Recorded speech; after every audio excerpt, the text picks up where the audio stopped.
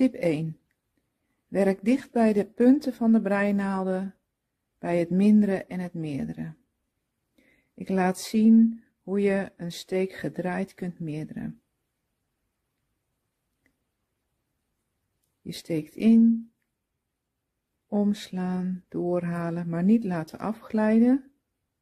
Hou de steek tegen en steek aan de achterkant nog een keer in en brei diezelfde steek nog een keer.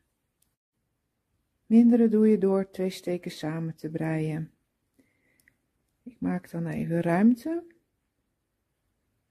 om te kunnen insteken. Ook hier werk je weer dicht bij de punten.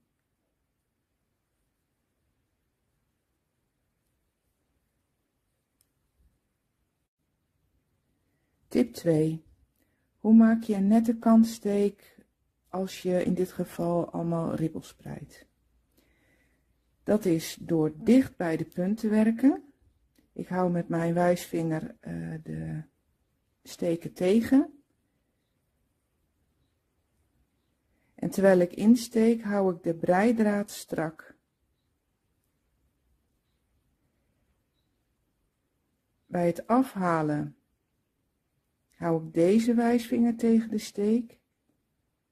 En die hou ik vast als ik bij de tweede insteek. En dan ga ik verder met breien.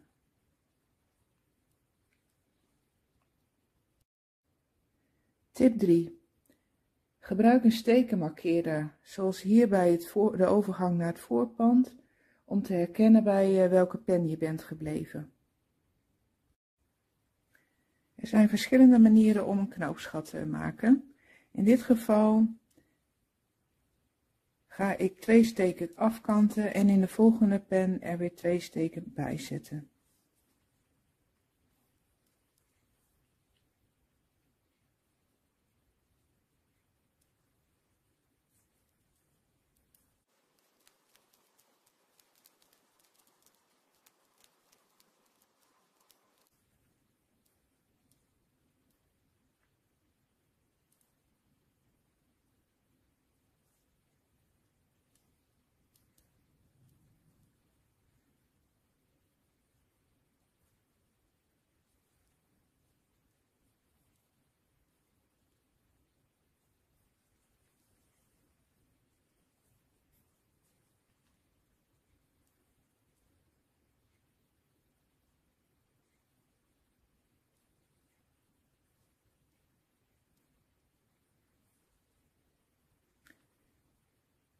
Het erbij maken van de steken doe ik door simpelweg een lusje te maken. En in dit geval doe ik het strak en hou ik het dicht bij de punten. Want ik brei op pen 5 en ik wil uh, dat het zo net mogelijk is. Je ziet dat ik hier ook dicht bij de punten blijf werken even.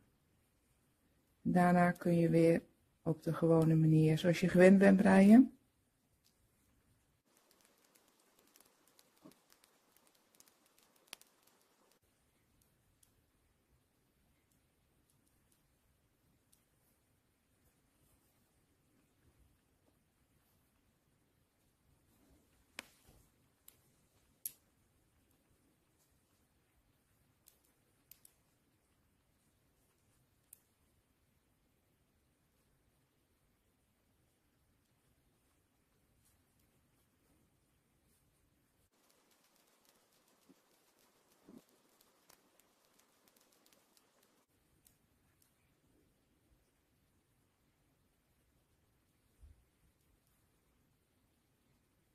Zodra ik bij de nieuwe steken ben aangekomen, werk ik ook even weer dicht bij de punten met beleid.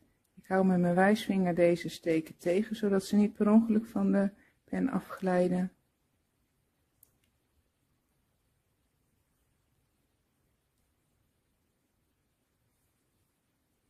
En op deze manier heb je een knoopsgat gemaakt in het ribbeljasje.